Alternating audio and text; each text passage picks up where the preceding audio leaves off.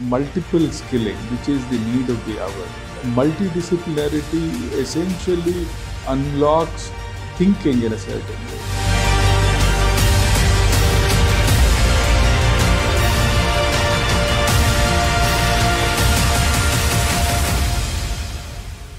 Hi, uh, my name is Vinay. I'm Pro Vice Chancellor SRM IST, Kattankulathur.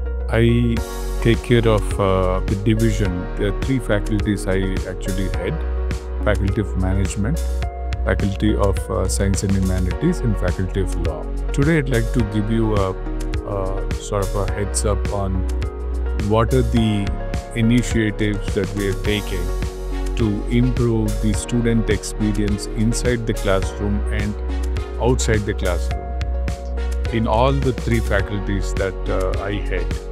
Uh, this year, we have uh, initiated the liberal education uh, initiative in the science and humanities faculty.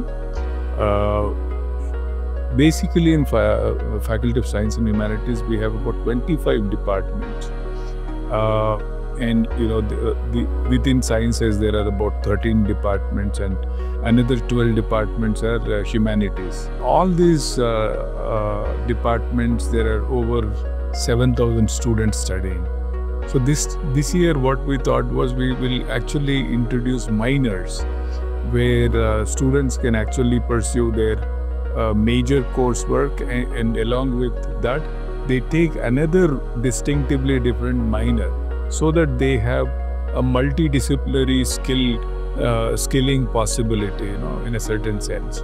So for instance a person who specializes or majors in accounting can take a minor in psychology or a minor in uh, languages a minor in uh, uh, you know a whole lot of other things. There are about 15 different minors that you have a minor in data sciences. So uh, it's it offers them multiple skilling which is the need of the hour.